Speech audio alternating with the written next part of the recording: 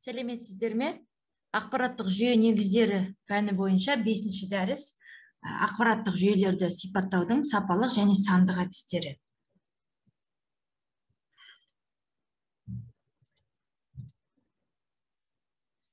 Дәрістің мақсаты ақпараттық жүйелерді сипаттау әдістерін зерделеу. Түйінді сөздер кибернетикалық жүйе элементтер. Дәрістің жоспары ақпараттық жүйелерді сипаттаудың сапалық және сандық әдістері. Ғылымның қандай салалары болса да зерттеу барысы мен іс жүзінде біртекті әдістерді қолдана бермейді. Ғылыми ойларды дамытудың жаңа әдістеріне қолданбалы математика ақпарат теориясы кибернетика сияқты ғылым түрлері себеп болды. Әртүрлі кезеңдер мен құбылыстарды оның ішінде өндірістік экономикалық және ақпараттық жүйелерді зерттеудің озық әдістеріне көбінесе жүйелік зерттеу тәсілі қолданылып жатады. Кез келген жүйені зерттеу мен тұрғызу және ендіру әдістемесінің негізіне өзара бір бірімен қатынаста байланыста болатын әрі бүтіндей бірлікті құрайтын жүйе элементтерінің бірігуін жатқызуға болады. Жүйенің элементі деп нақты функцияны орындайтынын және берілген есеп көлемі бойынша әрі қарай бөлшектеуге жатпайтын объектіні айтамыз. Мысалы егер нарықты жүйе ретінде қарастырсақ онда оның әртүрлі ортадағы элементтеріне мыналар жатуы мүмкін. Тауарды өндірушілер сатып алушылар маркетологтар тауарлар бағалар сұраныс бәсекелестік жарнама және тағы басқалар. Жүйе оның элементтері туралы ой қозғағанда орта объект өзара байланыс пен қасиеттер ұғымдары қоса жүреді. Осы ұғымдар бірігіп зерттеудегі жүйелік ыңғайдың мән мағынасын ашады. Жүйе анықтамасындағы байланыс ұғымы бағыт күш түр сипаттауларымен беріліп ішкі сыртқы немесе тікелей кері түрлерімен ерекшеленеді. Жүйенің күйі оның даму барысындағы құбылыс мезетін білдіреді. Оны көбінесе жүйеге енуші әсерлер мен шығушы нәтижелер арқылы анықтауға болады. Егер жүйе бір күйден басқа күйге өтетін болса осы үрдіс жүйенің өзгеріс барысын білдіреді. Сыртқы әсерлер әрекеті қарастырылмаған кездегі жүйенің өз күйін өзгеріссіз сақтап қалу қабілеті теңбе теңдік деп аталады. Сыртқы әсерлер әрекетінен соң жүйенің теңбе теңдік күйге оралу қабілеті тұрақтылық деп қарастырылады.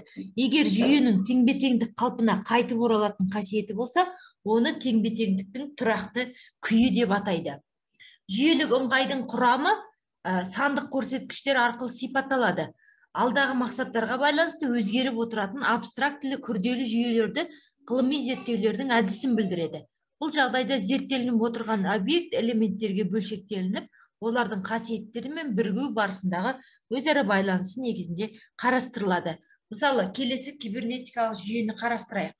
Ә, бұл суретте қарастырылып отырған кибернетикалық жүйеде мысалы болашақтағы экономикалық көрсеткіштер шамалар қорлар бірінші екінші ә, ол ену элементі ретінде беріліп олардың өзара әрекеттесуі нәтижесінде басқарылатын бөлімде енген элементтер өңделінеді. Басқарушы бөлім өз кезегінде тікелей және кері тізбектер арқылы басқарылатын бөліммен байланысады. Осындай алмасулар арқылы нәтиже яғни дайын тұтыну өнімі мен оған сәйкес экономикалық көрсеткіштер шығу элементтері ретінде қалыптасады. Кибернетикалық жүйеден шыққан элементтерді қайта қарастырып қалыптастыру қажет болса басқару жүйелері кері байланыс арқылы басқарылушы жүйеге қайтадан белгі береді. Объектіні зерттеу барысында ә, немесе қажетті мәселені шешуде объектіні немесе мәселені шешу үрдісін жүйе ретінде қарастыруға болады. Ол үшін қажетті элементтерді және байланыс арналарын алған қойған мақсатқа жуықтап жететіндей қажетті жүйені қалыптастыратындай түрде бөліп алу қажет. Сондықтан бірінші кезекте жүйені ортадан бөліп ала білген жөн оны сыртқы ортамен байланыстыратын еніп шығу арналары арқылы көрсетіп жүйелік теория ұғымдағы қара жәшікті тұрғызу керек. Берілген жүйе үшін қоршаған сыртқы орта деп қасиеттерінің өзгерісі жүйеге әсер ететін барлық объектілерді немесе жүйе өзгерісінің нәтижесі әсер ететін ортаны айтамыз. Сонымен жалпы жүйені толық қарастырғанда жаңағы бірінші суреттегі ену шығу элементтерінен басқа алдағы мақсат және сыртқы қоршаған орта ұғымдары қоса жүреді. Бұл суретте жүйенің қоршаған сыртқы ортамен байланысы көрсетілген. Яғни ә, жүйені кейде нақты графикалық құрылымда беруге де болады бірақ онда да ә, барлық элементтермен байланыстар толық қамтылмайтындықтан оларды анықтайтын теориялық жиындық немесе логикалық бейнелеуге негізделген арнайы тіл жабдықтары қолданылады. Жүйенің бірнеше таңбалық түрлердегі өрнектерін қарастырайық. Жүйе бүтінділік ретінде так бұл жағдайда жүйе бар және ол бүтін. X бірден нөл өрнегі осы сапалардың бар немесе жоқ екендігін білдіреді. Жүйе екіншіден ұйымдастырылған жиын ретінде. Яғни мұндағы и ұйымдастыру операторы жи жиын деп қарастырылады. Келесі автоматикалық ұғымдағы анықтама бойынша жүйе енулер мен шығулар жиындары өту және шығу күйлерінің функцияларын сипаттайтын күй жиындары. Мұндағы x енулер y шығулар z күйлер жиыны h өту күйлерінің функциясы d шығу күйлерінің функциясы болады. Егер жоғарыдағы анықтаманы уақыт пен атқарымдық байланыстар ұғымдарымен толықтырсақ онда автоматтық басқару теориясы сүйенетін тағы бір жүйе анықтамасын аламыз. Яғни s тең болады. Т уақыт x енулер y шығулар z күйлер жиыны h өту күйлерінің функциясы д шығу күйлерінің функциясы. F атқарымдық байланыс. Жүйе анықтамаларының жоғарыда қарастырылған түрлері зерттеу барысында объектілерді талдауда кездесетін маңызды құрамдарға сәйкес іріктеліп қабылданады.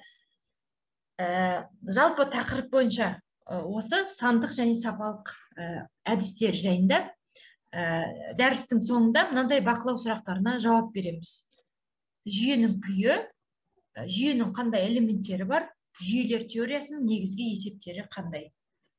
Ұсынылатын әдебиеттер байшуланова ақпараттық жүйелер теориясы бралиева байшуланова гагарина экономикадағы ақпарат жүйелері және ақпараттық жүйелердің негіздері аяжан омарова аяжан деген әдебиеттер.